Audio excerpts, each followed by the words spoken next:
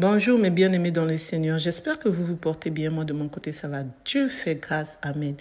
Et oui, Dieu fait grâce. Il nous a réveillés. Donc nous pouvons que dire merci Seigneur. Alors aujourd'hui, je vous ai réalisé la vidéo de l'histoire de notre, la Sainte Thérèse de Lisieux. Vous allez visiter ensemble avec moi la vidéo que j'ai réalisée ce jour-là. La vie que notre Sainte Thérèse de Lisieux a vécue. Voici son parcours sur cette terre. Elle a donné sa vie pour servir notre Dieu. Amen, amen. Voici le musée du cire de la Sainte Thérèse. foyer, on dit bien le foyer parce qu'à cette époque-là, les enfants ils naissaient à la maison. C'était pas à l'hôpital. On accouchait. Et donc la famille Martin accueille son neuvième enfant. Là, vous voyez, il n'y a que cinq enfants. Il y a cinq filles réunies dans la maison. La maman, Zélie, le papa, Louis. Il y a la sœur aînée, Marie. Ensuite, il y a Pauline, Léonie, Céline et Thérèse, qui ce 2 janvier 1873 eh bien, fait sa, son apparition. C'est un enfant très très entendu, puisque, ben, comme je viens de vous l'expliquer, il y a eu déjà quatre enfants ben, qui n'ont pas survécu. Car dans, dans cette époque, eh ben, les enfants, s'ils ne dépassaient pas un certain âge, on pouvait penser qu'ils ben, ils, pouvaient mourir, soit par la maladie, ou soit ben, parce que voilà, les conditions étaient assez difficiles. euh, la famille Martin, eux, c'est une famille de petits bourgeois. Ils travaillent. Monsieur Martin, il est bijoutier horloger. Madame Martin, elle a aussi une activité. Elle est dentelière, elle a un atelier. Et dans cette période, où euh, eh bien, vient au monde de Thérèse, c'est une période aussi qui est difficile parce qu'on sort de la guerre. On disait qu'il y a des périodes entre pays. Ben, C'était une période où on sort de la guerre. La France a perdu euh, deux régions, l'Alsace et la Lorraine, qui plus tard elles vont récupérer lors d'une autre guerre, mais ça ce sera bien plus tard. Et donc là, ben, c'est une période économique assez difficile. Et donc M. Martin, qui lui, il avait re- redonné son, magasin de horloger bijoutier à son neveu, il travaillait lui plus euh, en tant que commercial, il allait à, Paris pour vendre euh, ben, justement la dentelle de l'atelier de sa femme. Madame euh, bon, ben, Zélie, elle, elle, avait sous sa responsabilité ben, des dentelières qui, euh, qui faisaient justement ce point d'Alençon. Et comme euh, le travail commençait à manquer, bah, elle a dû euh, se séparer de ses ouvrières. Donc ça du travail en moins parce que c'est le chômage qui fait qu'elle elle a dû se séparer de, de ses, ouvrières qui pour, qui pour elle, eh ben, ça lui apportait quand même un- ben, d'être contente de donner du travail à des, à des personnes qui en avaient besoin. Et, et Zélie elle-même, au plus profond d'elle-même, il y a une maladie qui commence à, à grandir en elle, même si elle essaie de, de prier pour avoir la guérison, d'être partie jusqu'à Lourdes pour essayer aussi euh, d'être exaucée et pouvoir guérir. Mais non, la maladie euh, va l'emporter. Donc là, en tout cas, en ce mois de janvier, c'est une grande joie de l'accueil de ce petit être qui est très vivant, très vif, qui apporte vraiment un grand bonheur dans le foyer de cette maison, très très unie. Et donc euh, d'accueillir cet enfant, c'est un grand bonheur.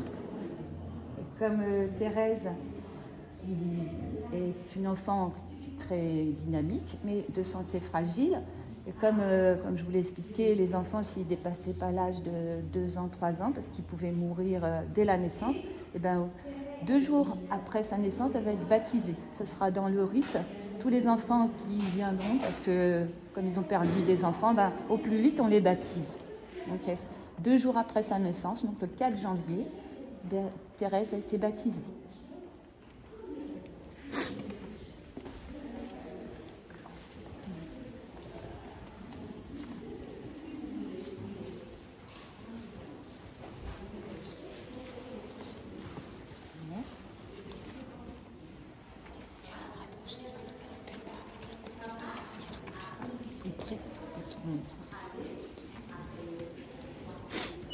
sur cette nouvelle scène,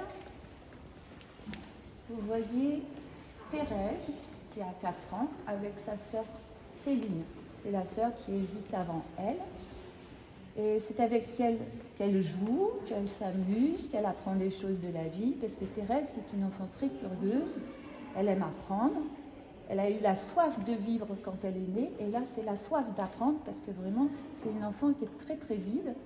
Elle fait un peu des caprices, comme une enfant de son âge, puisque comme c'est la toute dernière, et eh ben, on va dire, on la chouchoute, on la protège, parce qu'on, voilà, c'est une enfant qu'on adore, donc on lui cède un petit peu, on va dire.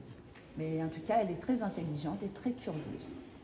Et là, Thérèse, eh ben, elle apprend des choses, mais aussi elle a un grand chagrin. Elle a 4 ans, et c'est sa mère qu'elle va perdre. Donc, le premier chagrin de sa vie, c'est de perdre sa maman, d'être orpheline de mère. Mais pourtant, elle ne va pas pleurer tant que ça. Alors que c'est une enfant qui faisait des colères et des caprices, mais là, sa mère eh vient de disparaître, mais elle, elle, a, compris qu'elle a perdu sa mère, mais que dans la vie, elle va devoir avancer. Et, les pleurs, c'est pas ce qu'elle va, en tout cas, montrer. Elle montre un chagrin, mais pas, pas des pleurs de chagrin euh, très très démonstratifs comme un enfant pourrait le faire quand il perd sa mère. Donc là, c'est dans la soif d'apprendre, ça veut dire que c'est une enfant très très curieuse et très, a très envie d'apprendre les choses de la vie, les choses de son âge, comme tout un enfant. Avec sa petite maman, et c'est la petite maman qui va, qui va être là pour elle, ce sera sa sœur euh, Pauline.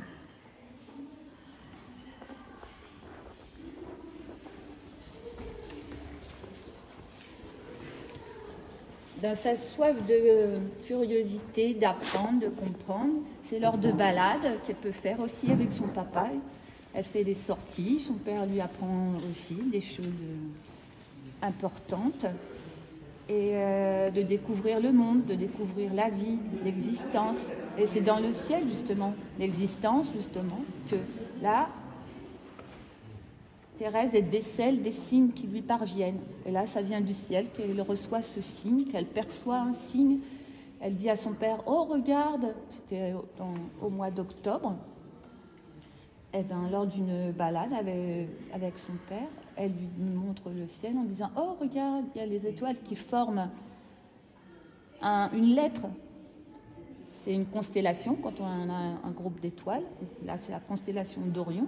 Et en voyant dans le ciel, eh ben, elle montre à son père que les étoiles forment la première lettre de son prénom.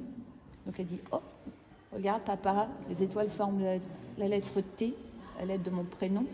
Et c'est encore un signe qui lui parvient et qui lui désigne quelque chose qu'elle reçoit et qui se manifeste euh, auprès d'elle.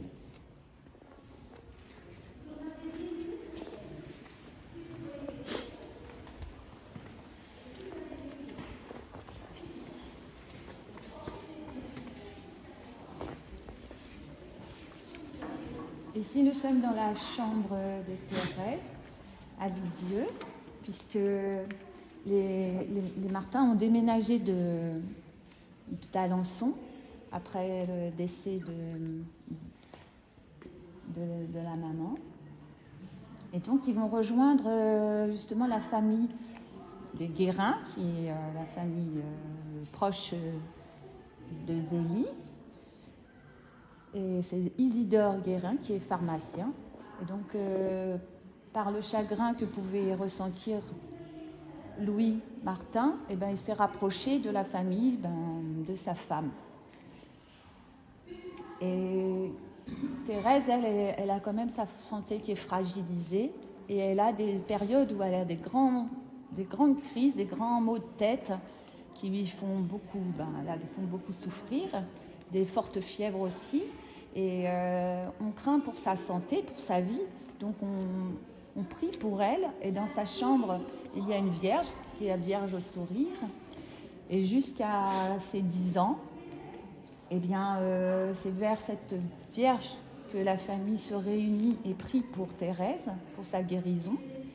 Et en ce 13 mai 1883, à ses 10 ans, eh bien, Thérèse, lors d'une de ses crises, elle dit elle dit à ses sœurs, Oh, j'ai vu le sourire de cette Vierge et maintenant je sais que je suis guérie et depuis elle n'a plus eu de crise, de forte fièvre, de crises euh, qui ont été euh, pour elle très très douloureuses. Donc là, euh, c'est l'appel de cette foi qui lui vient et de la guérison qu'elle peut ressentir justement par le signe que lui envoie la Vierge au sourire.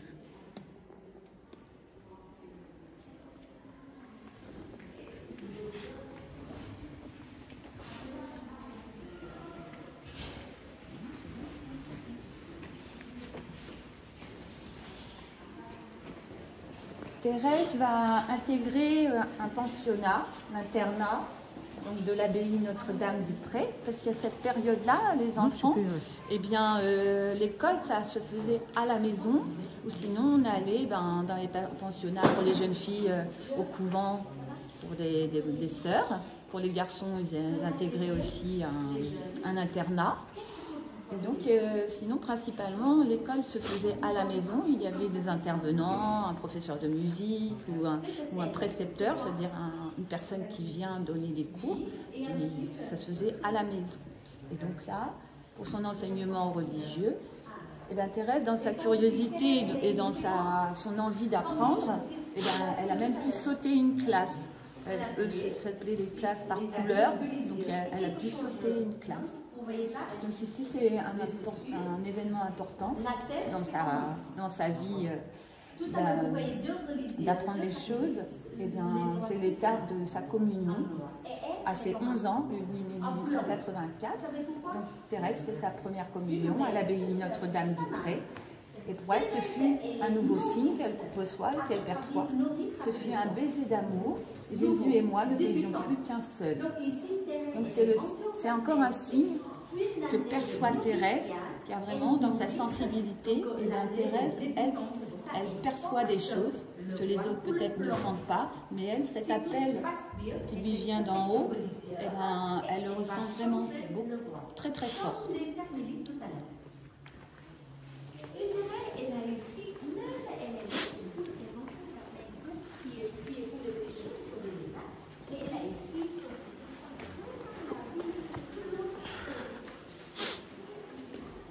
cet appel de la foi, de cette mission d'amour auprès de Jésus, et eh bien Thérèse n'a pas encore 15 ans. Elle fait part à son père qu'elle veut entrer au Carmel, qu'elle peut rejoindre sa sœur Pauline. Et son père, eh bien, il comprend, il accepte sa décision, mais par contre, il ne peut pas donner vraiment son accord total puisque Thérèse n'a pas, encore l'âge d'entrer au Carmel. Et pour ça, il lui dit qu'ils vont aller rencontrer Monseigneur Hugonin, qui est l'évêque de Bayeux. Donc ils vont prendre rendez-vous pour aller rencontrer l'évêque et, il va dire à, à Thérèse, Louis Martin va dire à Thérèse, c'est par ta propre voix que tu dois exprimer ton choix, ce n'est pas moi qui vais parler pour toi. Et donc, lors de ce rendez-vous, Thérèse va donc expliquer à, l'évêque Hugonin qu'elle souhaite entrer au Carmel et qu'elle euh, demande d'avoir sa dérogation. Donc dérogation, c'est une euh, autorisation spéciale. C'est-à-dire que comme elle n'est pas encore majeure, elle n'a pas encore 21 ans, parce que cette époque-là, quand on devient majeur, c'est pas 18 ans comme maintenant, c'est 21 ans. Et Monseigneur Hugonin, euh, il l'entend, il l'écoute, et pourtant, il va quand même lui, lui, euh, dire que peut-être qu'elle peut encore penser à rester auprès de son père, qu'il est lui est seul, qui voilà, maintenant il aura peut-être besoin qu'il soit auprès d'elle, qu'il lui dit peut-être qu'il peut encore, qu'elle peut aider son père pour, pour faire certaines choses. Donc, eh bien, Thérèse va repartir de Bayeux en, se disant qu'il ne faut jamais se décourager dans la vie et donc de toujours croire en ce qu'on souhaite. Donc, eh c'est ça, c'est une déception qu'elle reçoit. Mais pourtant, elle, sait par, son, par, par rapport à son cœur qu'elle a fait un choix et qu'elle veut le réaliser.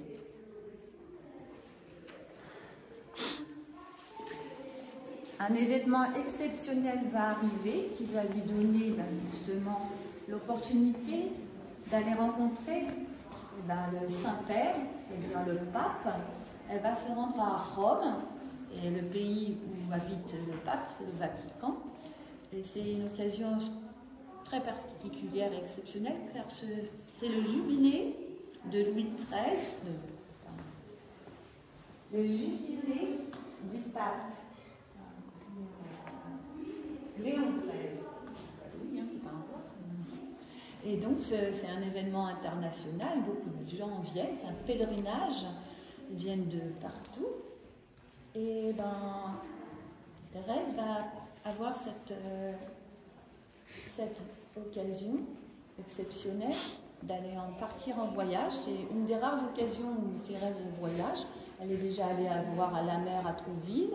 Et là, eh ben, elle se déplace vraiment. Elle part, euh, fait un grand voyage. C'est un très grand voyage. Donc elle part avec son père pour ce pèlerinage du jubilé, jubilé d'or du pape Léon XIII. Et elle va avoir un rendez-vous avec le pape.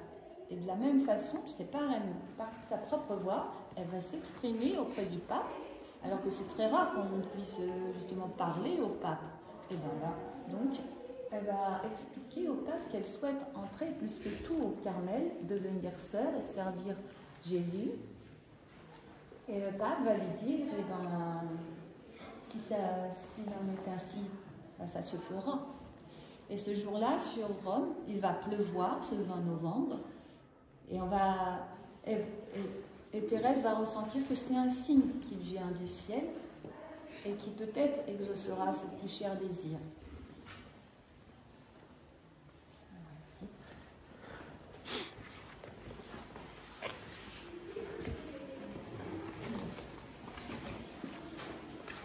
Nous au mois de novembre, on arrive au mois d'avril. Au mois de janvier viendra l'autorisation de l'évêque huguenin de Bayeux, de, faire de, permettre à Thérèse d'entrer au Carmel. Donc Thérèse, ici nous la voyons, devant la grille du Carmel, elle est accueillie par ses sœurs qui vont déjà intégrer le Carmel. Et donc quand on fait des... quand on vraiment on veut plus que tout, c'est notre choix, de se consacrer sa vie à Dieu, de servir, de servir Jésus, voilà, quand on, se marie à Jésus, on se marie à Dieu. C'est pour ça qu'ici, vous voyez, à cette époque-là, quand les religieuses, euh, les sœurs, eh bien, elles, prenaient habit, c'est-à-dire prendre habit. Là, après, elle, portera vraiment la tenue de carmélite. Ce sera sa tenue euh, définitive mais avant de devenir, euh, euh, cette sœur, elle aura des étapes au Carmel, elle sera novice.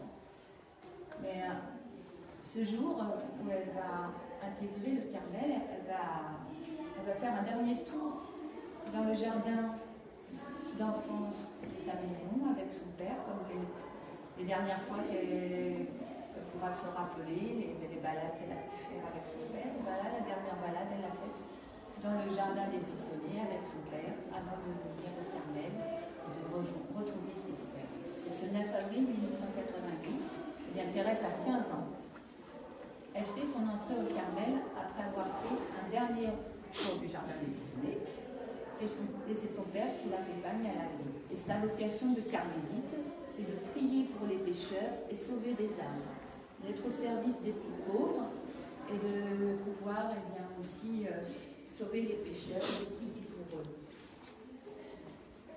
Thérèse a eu des activités au Carmel. On était, euh, bien sûr, il y avait des tâches, des tâches quotidiennes à faire, laver le linge, parce qu'à cette époque, il n'y a pas de machine à laver, c'est un lavoir. On va au lavoir pour battre le linge, c'est pour ça, c'est la scène où on peut voir, tout le monde est, rassemblé. Thérèse est juste là, c'est qu'on voit assise en moi.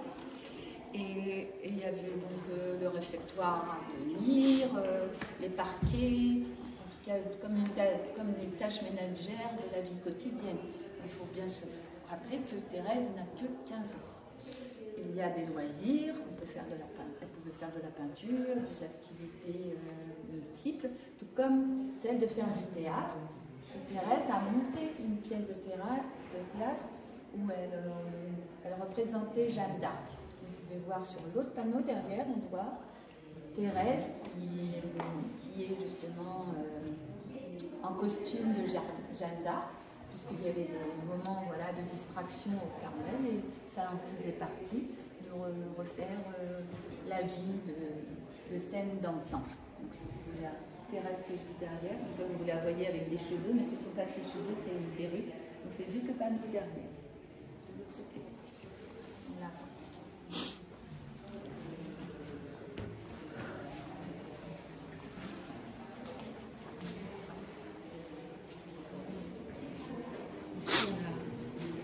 sur la, sur la gauche.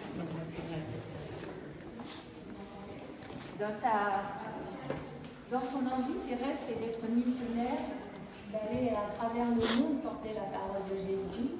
C'est son plus cher désir. Et donc là, c'est pour vous montrer le panneau, c'est euh, le reliquaire de Jésus, de, Thérèse, jusqu'où il est parti, c'est-à-dire sur euh, sur les cinq continents. Il a traversé les mers, car il est très demandé. Comme euh, les pèlerins comme vous ne peuvent pas tous venir jusqu'ici à des de la basilique, le, reliquaire va à la rencontre des pèlerins et porter euh, ce que les Thérèse, vraiment de devenir docteur, prophète, pouvoir porter la parole de Jésus à travers le monde. Et donc c'est le message que veut transmettre Thérèse dans son message d'amour et d'amour.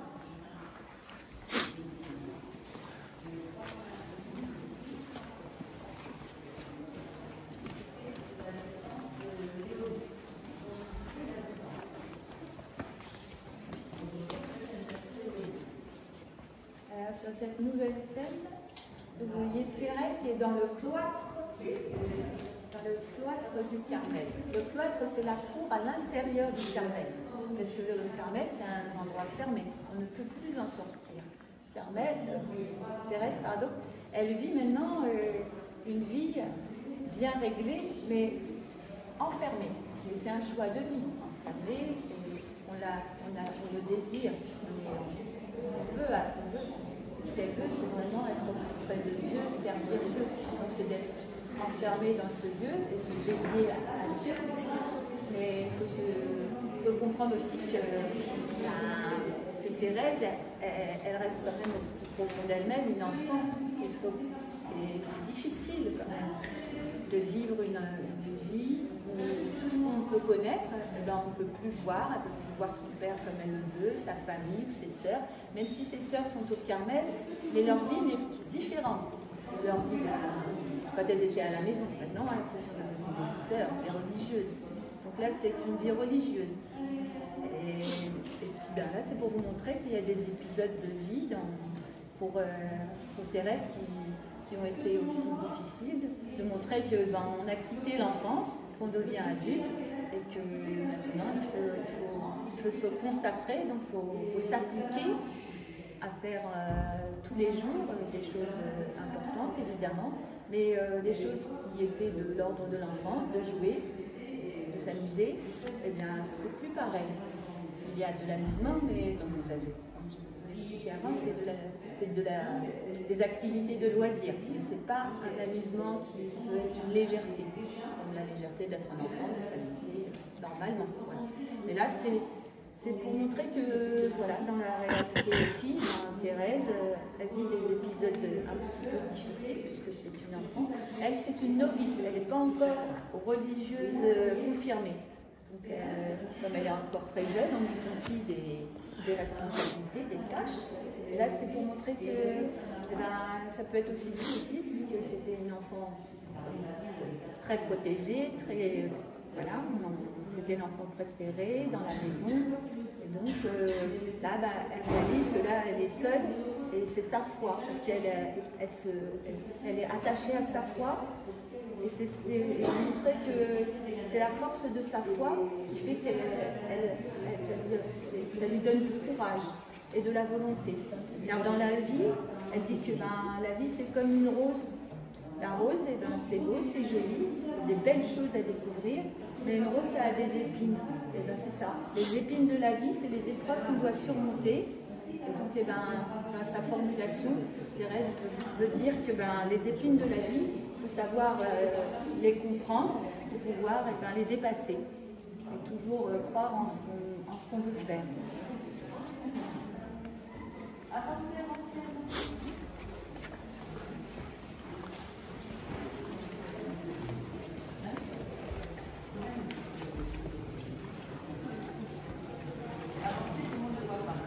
C'est l'espace de, vie de Thérèse.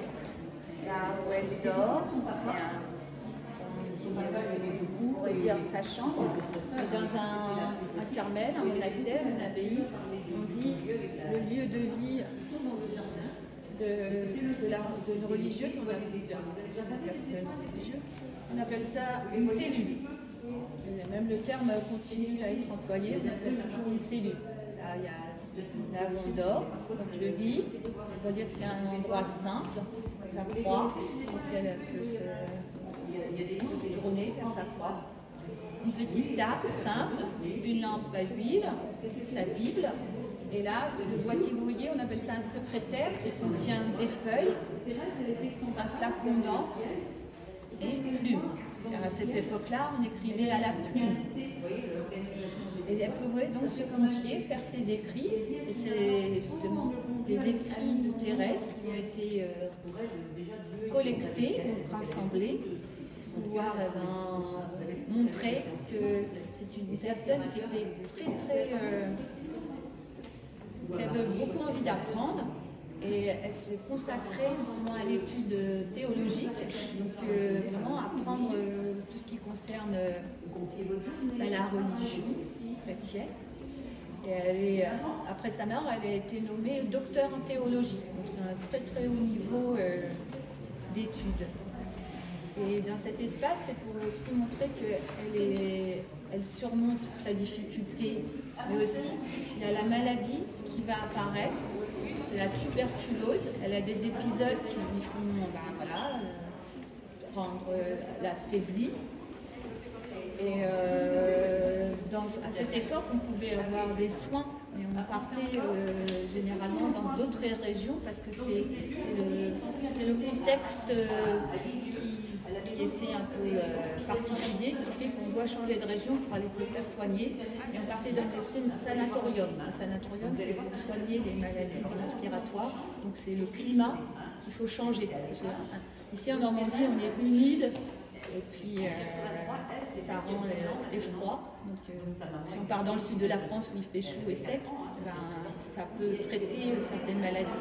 Même si elle, elle a reçu des soins, mais ce n'était pas euh, ce qui aurait pu être suffisant. Et dans sa, son envie de foi, de se dédier complètement à Jésus, eh bien, elle voudrait rester dans cet espace qui l'a sécurisé. Parce que d'être transférée dans un autre endroit, on m'a demandé est partie, pas partie dans un autre Carmel. Ben, c'est vraiment cet endroit-là, c'est le Carmel, où elle a voulu être allée. Et c'est cet espace-là qui, pour elle, est celui où elle veut être. Donc là, c'est pour vous montrer que c'est une période aussi difficile qu'elle pouvait traverser parce que la, maladie faisait des épisodes euh, réguliers. Ça pouvait être un épisode comme un autre, mais à cette période-là, ça a été très très fort et elle a vécu vraiment une période très très difficile.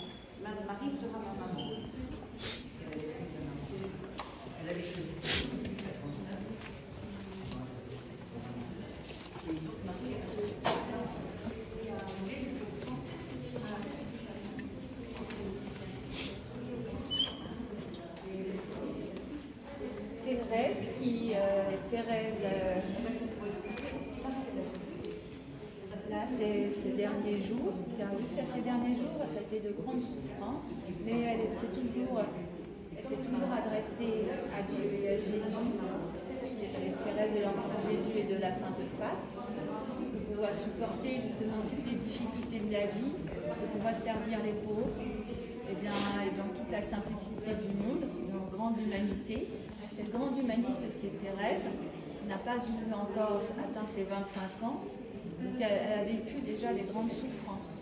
Mais pour vous montrer aussi que ben, dans la vie, il faut savoir s'accrocher, résister et surmonter des épisodes qui vont, pouvoir être dépassés et atteindre ce que vous voulez dans la vie pour vous renforcer dans votre, dans votre foi qui est toujours là, qui est avec vous. Et Thérèse est bien là, entourée de ses sœurs jusqu'à ce dernier souffle. Et bien, le 30 septembre 1897, elle a, pu transmettre toutes ses volontés à ses sœurs, qui ont fait des écrits, et c'est pour ça qu'on pouvait retrouver euh, le livre de ses récits, ou La Petite Voix aussi, qui, qui rappelle aux épisodes euh, qui étaient difficiles pour elle. Et donc, eh ben, de cette petite personne qui est Thérèse, eh ben, qui est devenue ben, cette grande sainte que vous connaissez un petit peu maintenant. Si vous avez des questions, ça va Vous avez un petit peu mieux compris la vie de Thérèse Oui, merci. Merci à vous. Je vous souhaite une belle journée à Lisieux. Merci, vous aussi.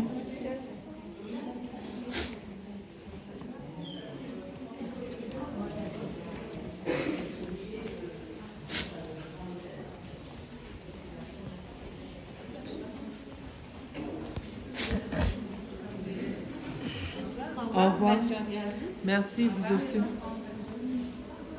Nous avons fini de visiter le musée du cire de la Sainte Thérèse. Vous avez vu que c'était un peu sombre parce qu'il ne fallait pas mettre la lumière. C'est interdit.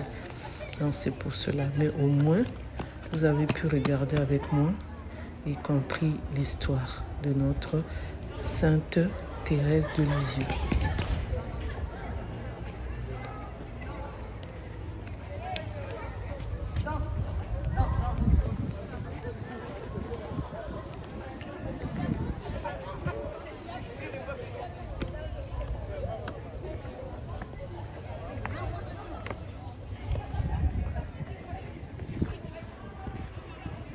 Cet endroit, c'est là où les prêtres se sont réunis pour la confession. Donc, euh, pour vous confesser, vous venez à cet endroit et le prêtre vous reçoit pour la confession.